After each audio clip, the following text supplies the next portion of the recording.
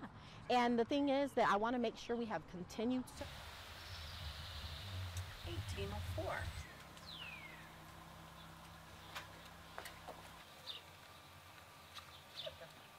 Right now, it's almost down to I don't care what your political affiliation is, we've got problems.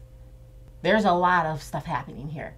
And we need to figure out a way to work together, to work across the lines no matter what. That's all people talk about around the table is politics. Who likes, who doesn't. And it's destroying families to the core. Mothers aren't talking to sons, fathers are disowning daughters.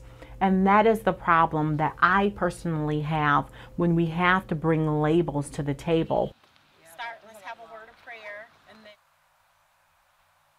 My sister is my inspiration many, many days. Um, and she still is, even though she, you know, doesn't side with me politically. Um, this too shall soon pass. Not today. Not ever. Kind of compassion and the right tone. Just go like this back and forth. Did then- you? Because Well, we got the little scooter.